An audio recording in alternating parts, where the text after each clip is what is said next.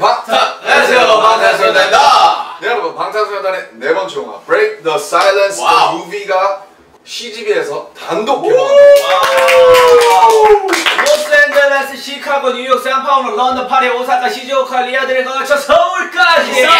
네, Love Yourself Speak Yourself 스타디움 투어의 대장정 속 멤버들의 비하인드를 꾹꾹 담았습니다. 네, 무대 위에 방탄소년단과 무대 뒤에 솔직한 저희들의 모습을 담아 진솔한 이야기를 들으실 수 있는데요. 네 이번 영화를 통해 오랜 시간 저희를 사랑해준 팬 여러분들과 더 가까워지는 시간이 되었으면 좋겠습니다. 네 그렇습니다. 저희의 또 다른 모습들을 만나보실 수 있는 Break the Silence the Movie Yes. 그래서 지금 바로 예매해 주실 거죠?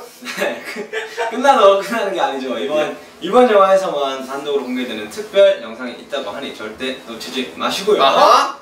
CGV에서 즐거운 시간 함께 보내시죠. 저는 지금까지 방탄소년단이었습니다. 안녕. 안녕.